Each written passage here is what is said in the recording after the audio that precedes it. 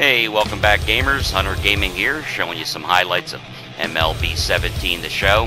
I do have three videos on this. If you go to my playlist and scroll down to MLB 17, I have three videos of me working my way from the minors to the majors.